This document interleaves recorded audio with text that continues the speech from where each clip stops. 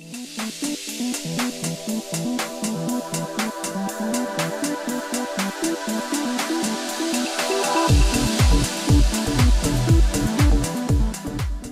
you want certain values to be generated as test data value for any item type of your schema?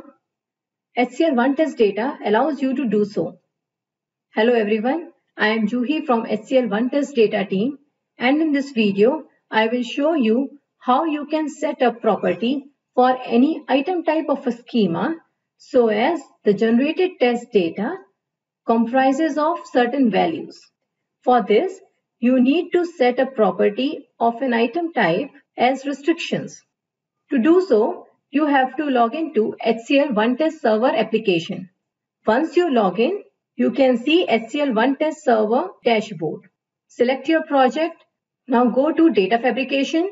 This will take you to HCL OneTest Data dashboard. Click Schemas to select a schema. For me, it is there as Employee Info now as you can see, EMP info is the schema, employee detail is the category and I have a group as address and an item type as country.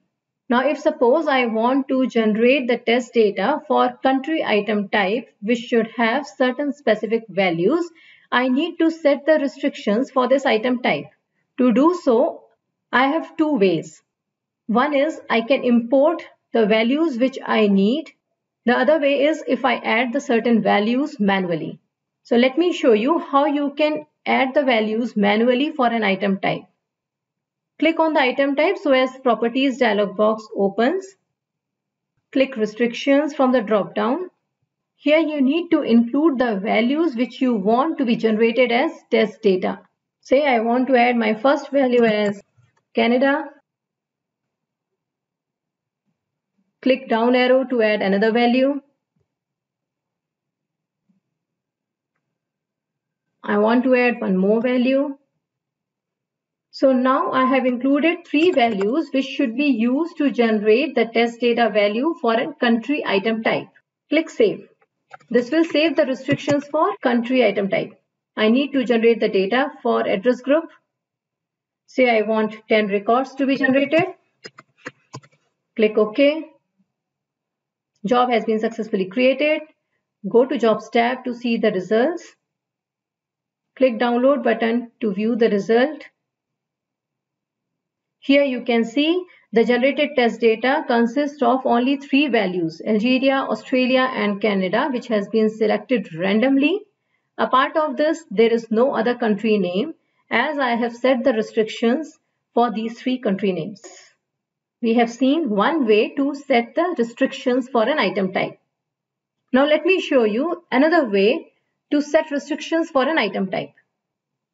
So if suppose I have a file with certain data and I want to utilize only those values to be generated as test data for my item type, I need to first import that file into my project. Use Files tab to import that file. Click New, navigate to the file location Click OK. By this, you have imported the file into your project. Now you can utilize this to set the restrictions for your item type. Go to your schema. Select the item type for which you want to set the restriction. Click the drop-down list and select restrictions. Now here, instead of including the values manually, you can import it through file. So enable this toggle button Enter the file's name. Make sure you enter the extension of the file. This column number is the same where the data exists in your file. For me, it is in the zeroth column. Click Save. Go to the group type. Click Generate Data.